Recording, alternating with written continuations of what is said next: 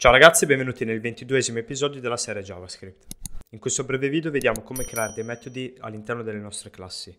Perché se vi ricordate nel primo video delle classi in cui avevamo gli objects per i tre utenti, ognuno di quegli objects aveva due metodi, uno per il login e uno per il logout. Andiamo quindi a ricrearli in questa classe utente.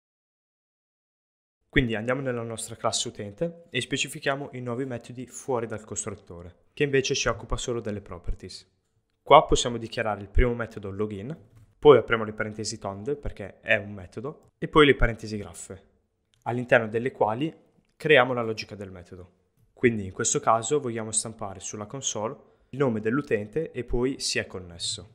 Quindi this.username, virgola, si è connesso.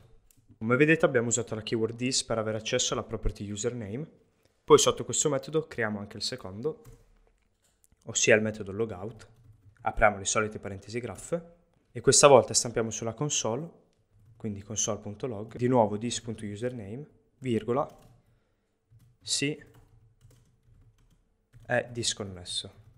Ok, bene, ora abbiamo ricreato esattamente gli objects che avevamo negli scorsi video, però in una classe, che ci permette di essere più modulare e scrivere meno codice. Per richiamare questi metodi ovviamente dobbiamo specificare il nome dell'istanza della classe, quindi qua sotto ad esempio utente 1, poi punto e il nome del metodo, ad esempio il login. Quindi per l'utente 1 richiamiamo il login. Ora salviamo il codice. Quando ricarichiamo la pagina vedete che ci viene stampato Mauro si è connesso, appunto perché l'username del primo utente è Mauro. Ora proviamo anche a richiamare il metodo logout dell'altro utente, quindi utente2.logout, in questo modo, punto e virgola.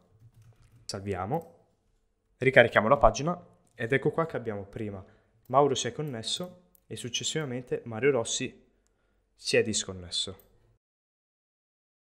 Bene, per qualsiasi dubbio o domanda lasciate un commento, mettete like al video per supportarlo con l'algoritmo di YouTube e noi ci vediamo nel prossimo video.